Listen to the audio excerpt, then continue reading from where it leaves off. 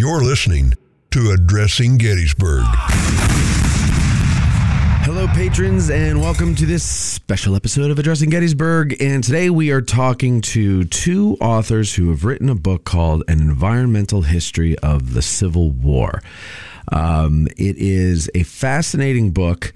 Uh, for those of you who are interested in all of the other stuff surrounding the armies, um, this is the book for you, I think, uh, and also its its impact on the environment, how they uh, lived with the environment, how they changed the environment. There's just so many different things that you can learn in this book. I highly recommend that you get it. And um, we're very lucky to have both of the authors on today. Who are the authors? Well, first of all, we have the extraordinarily good looking Judkin Browning. He's a professor of military history at Appalachian State University. Did I say it right? Appalachian or that's it. Okay. Appalachian State University and the uh, the author of Shifting Loyalties: The Union Occupation of Eastern North Carolina. And we also have a witty conversationalist uh, named Timothy Silver, and he is a professor of environmental history at Appalachian State University and author of Mount Mitchell and the Black Mountains: An Environmental History of the Highest Peaks in Eastern America. And together they wrote environmental history of the Civil War. And here they are with us on Addressing Gettysburg today. Welcome, gentlemen. Thanks for having us. Yeah, thanks. Nice to be here. Yeah, absolutely. Thank you for accepting our invitation. So, um, for, let's get into what. How'd you guys come about uh, writing this book together? Whose idea was it? How'd you do it? All that jazz. Why Tim, take it, it away. Well, um, uh, you know, I'm going to go ahead and, and, claim that it was my idea um, to, to, do the book, and and Judkin won't argue with me too much. Um, I, I, had thought for a long time about um, doing an environmental history of the Civil War because environmental historians believe that it's impossible really to understand any event in human history without looking at the natural world in which that event took place. Mm-hmm. And uh, so I'd often thought the Civil War was uh, was right for that kind of a study.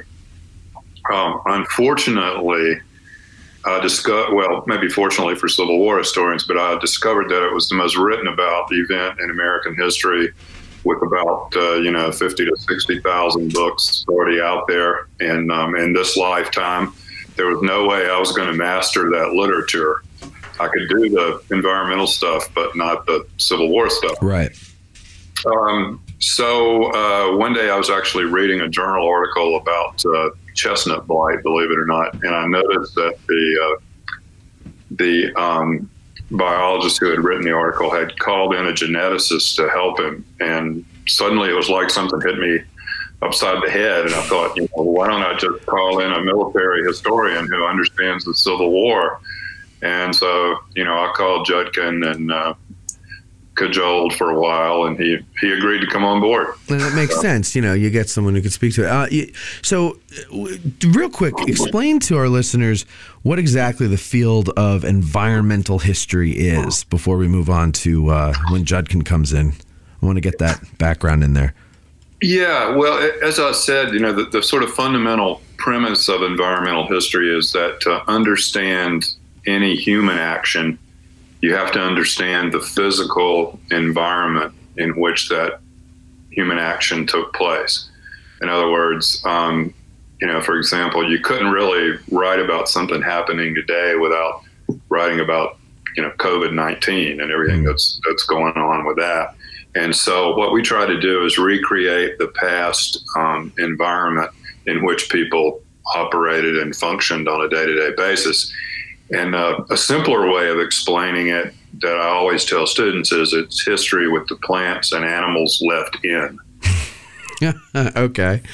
Not left out as they so often are. Right. But it makes total sense. We are limited by our environment. So that has a huge impact on how history unfolds. So that's a, uh, it's an interesting uh, topic. I've never heard of it until I've discovered this book, and then so I'm glad uh, I'm glad you cleared that up for me. So uh, now Judkin gets involved in the uh, in the book. Judkin, uh, were you excited when he asked you to do this, or were you like, "Ah, oh, this is a daunting task"? Or what was your reaction?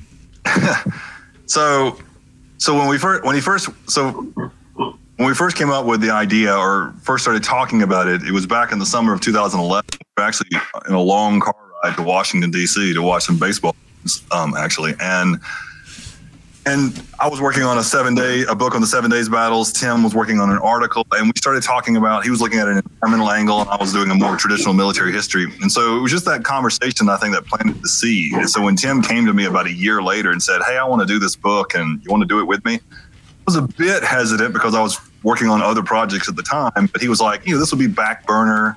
Don't worry, we'll just work on this a little bit at a time over the next few years." And so I was like, "Sure, let's do it."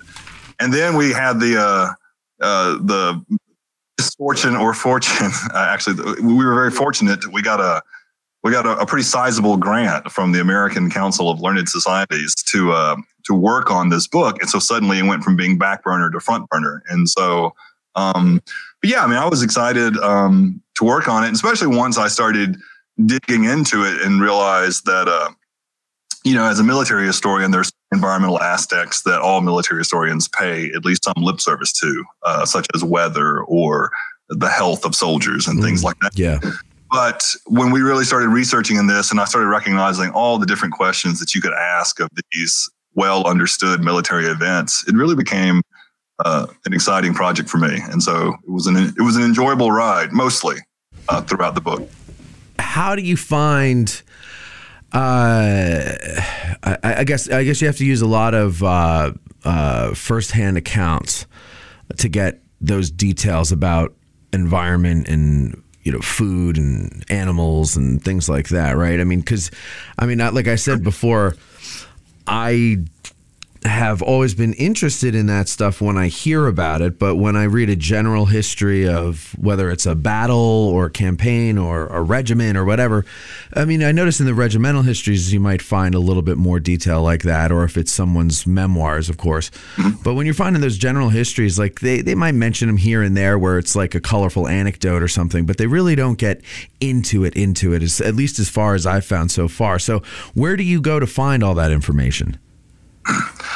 Well, so it's twofold. Uh, one is you're right that most of the anecdotes and stuff that sort of drove uh, our research came from the very well known uh, primary sources that uh, most Civil War scholars and Civil War buffs are aware of. The 128 volume uh, official records um, of the war, obviously, uh, published soldier diaries and, and letters, some memoirs, unpublished soldier diary and letters. And, you know, soldiers are very good about writing about mundane things, you know, the weather, sort of unusual events like, you know, animals and, and gruesome deaths and, and bad water, there, things like that. And so once you sort of see what the soldiers are saying, then uh, an environmentalist comes in and basically starts uh, rooting into the sort of scientific uh, underlying of what's going on here. And Tim and I joke that to quote Matt Damon in the movie The Martian, um, that we were going to science the shit out of this. Um, and and that's sort of what happens. I mean, it's one thing to hear soldiers write and talk about, well, 90% of our regiment are sick with typhoid fever. And then the question is, well, where does typhoid fever come from? Right. Why is that? And so then I handed to Tim, and he roots around epidemiology databases and, you know, tackles that. Yeah, and that's kind of that's how we blended our different expertises. And. What like like for example yeah so uh, there's one thing in there um, there's a couple of terms that are jumping out right? One is called uh, stem rust for crops um, which I had never heard before. And then uh, something was a greasy hook. Greased heel. What is greased it heel, heel yeah. greased heel yeah yeah. So so these are things uh, that are very real. They affect the food. They affect the animals. The animals are very important because they get the armies around. We're talking horses and mules and stuff at this point. So they get the, their transportation, their uh, labor. Uh, very important things for an army. Um, so, what is what is greased heel? By the way, just to uh, it's a it's a problem with horses, and it's it's sort of what it sounds like. It's a, an inflammation and then an infection of uh, the lower leg of horses, and it can be caused by a variety of, of bacteria, fungi, um, several different causes for it. Um, but it usually happens when horses are forced into crowded um, unsanitary conditions where they have to stand around in a lot of mud and own excrement and that kind of thing. And it's it's completely disabling for horses. And it became a problem in the Civil War when you brought all these horses together um, and then put them under those conditions. And it could it could cause horses to to come up lame. And then if that happens, you've got no way to move anything. Um, everything that moved during the Civil War, pretty much, except the soldiers walking, moves by animal power whether it's uh, artillery, supply wagons, whatever. So it could be incredibly devastating. And the only cure for uh, greased or greasy heel was to just sort of take the, the horses out of action for a while and um, let them recover under better, more sanitary conditions. And so, you know, that's a good example of, of uh, the kind of research we were doing where you would read something like Greasy Heel and then, you know, get into the, to the veterinary literature and say, well, wait a minute, is that really a thing? And what it? And, yeah. Um, you know, what can we what can we discern from that? So not only were you know we hear about soldiers uh, all coming together and getting all these uh, communicable diseases from you know being crowded in these nasty camps and just being around a lot of people and everything, but the same thing happens to the animals. It's not just people. Yeah, uh, much worse than greased heel was uh, a disease among horses called glanders or farcy. Mm. Oh yeah, and, that was another one I marked down. Yeah, it's caused, it's caused, by bacteria, and it's usually fatal if it takes the form of glanders. Sometimes they recover from farcy, um, but that was that was far more uh, common because you brought horses together from all over the country, um, previously isolated, and then it only takes one horse that's infected to set off, you know, a, an epidemic or epizootic is what it's called uh, among hmm. animals. Hmm. And um, uh, there are a lot of good stories that go along with that. Um, after the uh, first Battle of Bull Run, I believe I should let Judd talk about battles. He's better than that at that to me. After the first uh, Battle of Bull Run, sort of each side accused the other of leaving behind infected horses, mm. a hmm. kind of a, uh, an equine weapon of mass destruction. Right. yeah, and what what did uh, like how did glanders affect them? What was it exactly? It's a glanders is a respiratory disease, and it causes uh, congestion in the uh, horse's respiratory system, and they can they can actually suffocate from it. Oh wow!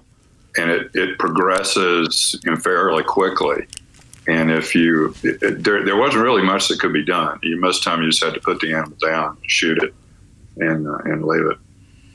It's uh, it's amazing. The the more, you know, you know that war is just a horror show everywhere you go, but then learning about the animals and everything that they had to go through uh, I don't know. We, we tend to. It seems like a, humans tend to feel sorry for animals more than other humans, and so you, you hear about you know them riding horses to death and then just getting another one and riding it to death, and you know they're at the mercy of what's required by the service. And uh, you, you go, God, this is so sad. It's like now it's more of a horror show to me than it already was from hearing about the human toll. Um, so yeah, it's. Uh, go ahead. And that's true too. I mean, we mentioned in the book how, you know, there are famous examples of guys who have personal relationships with their horses, why they're very fond of their horses. Yeah. Daniel Webster is the horse of George McClellan, you know, of course, Traveler uh, right. for Robert. E. But that throughout the war, in the eyes of the army, horses really were just sort of living machines, yes. uh, like used cars. And, you know, if this one, if this one's worn out, let's, you know, get rid of it and, and get another one because – um, you know, they had a war to fight, and it it really was, uh, you know, sort of a horse holocaust. I mean, the Civil War. I mean, one out of every six horses in the United States died during those four years, and kind of hard to fathom. About how many horses were there in the United States at the outbreak of the war? There were about six million horses when the war began, and, and about 1.2 million died you in the book you uh, you say uh, like their civilian counterparts the animals first had to be pulled from civilian life and made ready for battle. So what what did that process entail? What was it like to train a horse to be a soldier?